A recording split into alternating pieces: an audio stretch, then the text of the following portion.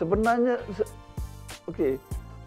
Dulu masa saya main muzik dulu, orang Melayu tak banyak main muzik. Masa tu tak banyak orang ini. Yang recording semua orang Filipin. Masa tu Filipin banyak. Uh, itu memang uh, comes with the territory ya. Memang apa? Memang uh, semua musician dah memang dah tahu dah benda tu kan. Uh, dalam even dalam band pun uh, penyanyi lebih ditunjukkan kan. Oh, oh band ni penyanyi dia best, penyanyi dia best dia tak tahu musician tu macam bermati-matian nak sedapkan lagu tu supaya penyanyi tu dapat sound sedap. Nama Zubi Said pastinya tidak boleh dilupakan dan akan terus dikenang dalam lipatan sejarah sebagai tokoh pemuzik dan pencipta lagu yang terkenal. Dia super lah. Dia dia ni lagu-lagu asli tu, lagu-lagu lagu filem semua yang yang kategori semua so brother semua dia buat.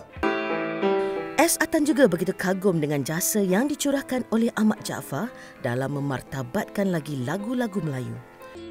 Yusuf B juga merupakan seorang pemuzik dan pencipta lagu yang telah banyak menyumbangkan jasa terhadap perkembangan muzik dan lagu-lagu Melayu. Antaranya ialah seperti Tari Tualang Tiga, Semarak Hati dan juga lagu Jangan Pilih Yang Cantik yang pernah dipopularkan oleh biduan wanita negara Saloma.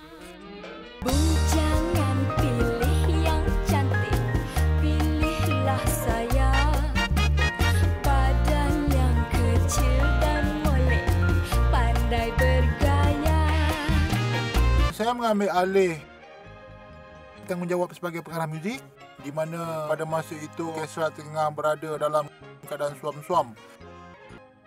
Kalau kita lihat muka-muka ahli muzik ni, mereka merata-rata ada di Astro, ada di TV3, ada di mana-mana situasi. Tetapi mereka memang berkhidmat dengan orkestra RTM.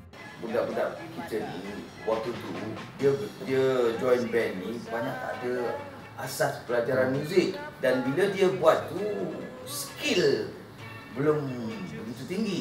Jadi dia dia buat dia punya sendiri. Ah itu yang kadang-kadang kita dengar.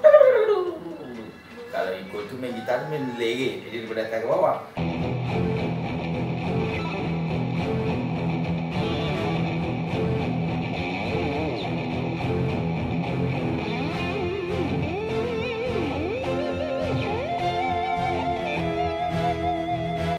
in order to be a good musician. Attitude yang ada. Good attitude. Bak kata pepatah, tiada yang lama, maka tiada yang baharu. Begitu juga dengan peranan para pemuzik tempatan yang silih berganti memberikan sumbangan kepada perkembangan muzik tanah air. Dan memandangkan jasa yang telah dicurahkan, maka amat wajarlah para pemuzik sentiasa diberi penghargaan dan pengiktirafan yang sepatutnya.